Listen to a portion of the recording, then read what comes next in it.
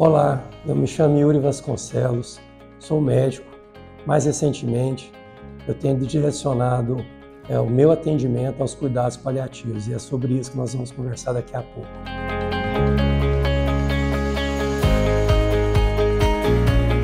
Perfeitamente. É, como eu dizia há pouco, os cuidados paliativos eles são direcionados a uma qualidade de vida para um paciente, né, um portador de um problema de saúde ameaçador de vida, e também eles estão assim à disposição de todo o entorno, de todo o ecossistema.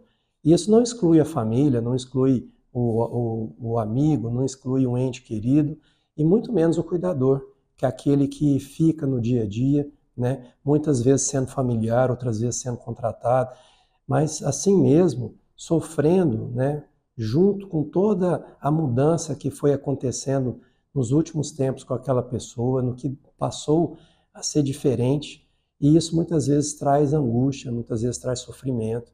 O cuidado paliativo, portanto, é um atendimento multilateral, porque o sofrimento também é multilateral.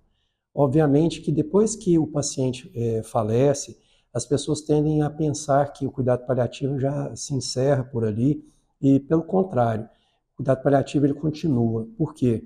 Porque as pessoas estão vivenciando um momento que se chama luto.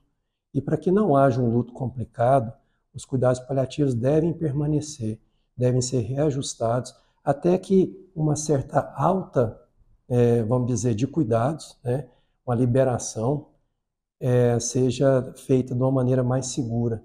Porque vivenciar o falecimento de uma outra pessoa também pode ser um processo difícil. E se você deixa que ah, esse vivenciar é, acabe é, se permeando por distorções, por sofrimento, por catastrofismo, muitas vezes é, vai deixar assim, sequelas e que os cuidados paliativos continuados, eles podem muito, muito bem remediar e muito bem transformar é, uma experiência negativa numa experiência positiva, que futuramente virá servir até mesmo para quem fica.